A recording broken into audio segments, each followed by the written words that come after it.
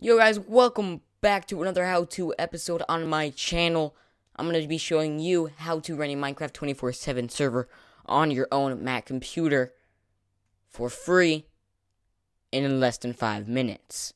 Okay, two applications that you're going to need. As you can see, this is Lion and this freaking Moon, okay?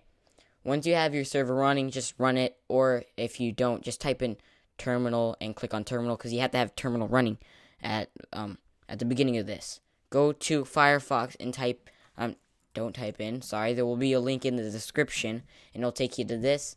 Click on download. Once you have downloaded that, it will put it into your downloads folder. If it hasn't already unzipped itself, because when I downloaded it, it did it by itself. But if it hasn't, double click on that and drag it into your applications folder.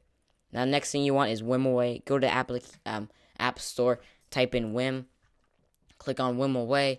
It's install it and it's for free. Don't worry, it's awesome like that. So now once you have your terminal running, aka your whole entire server, click on the Wimoweh. Click never um scroll over never sleep while running and then click on terminal. This will never sleep the computer while running terminal. Now it's weird um this does not work if you just let your computer go stay for 20 minutes on and then it, it will just mess it up.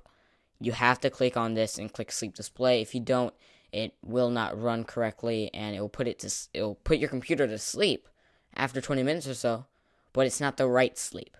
Um, you have to do sleep display. Now, if you have a laptop, this is one problem that you have. Click on the um, disable lid sleep, but the only problem is that it will heat up your laptop crazy, crazy bad because it's running 24 7. And you know, laptops, they don't really stay cool unless they're like you're flowing water through it.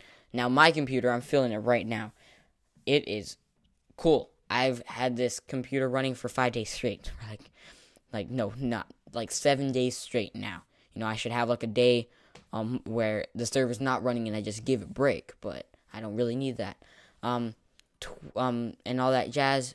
But you can still do this. It still works. Now, if you're on an iMac like, like I am, click on sleep display, not disable sleep, because of course you can't freaking close your iMac together. It's, it's weird. So hopefully you guys have enjoyed this episode on how to under five minutes, how to um do your server kind of thing.